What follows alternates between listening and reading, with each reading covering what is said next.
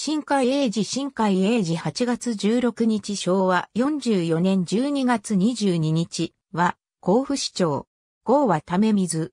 山梨県北駒郡笹生村に、父、富江、母、河の長男として生まれる。明治35年に山梨県立甲府中学校を卒業後、大正6年1月に家督を相続し、父親の経営した甲府市白木町の港屋酒造店を継承。大正7年に甲府市会議員に当選し、同年5月28日から昭和5年5月27日まで在任し、大正15年6月12日から昭和5年5月27日まで甲府市会議長を務めている。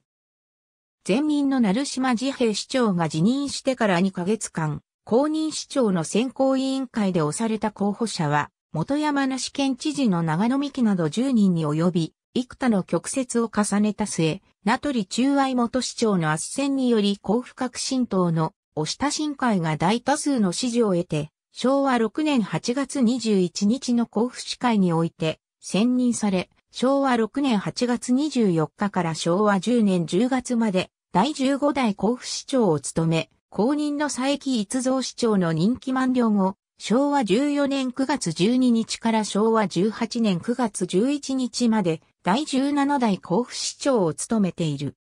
その後、第4回甲府市長選挙2月10日に立候補したが、現職の山本達夫市長の引退により4人が立候補する混戦となり、選挙戦4度目の挑戦となる高野慶次郎と元感染市長の新海との激しい競り合いとなり、630票の勝差で新海は当選を逃している。ありがとうございます。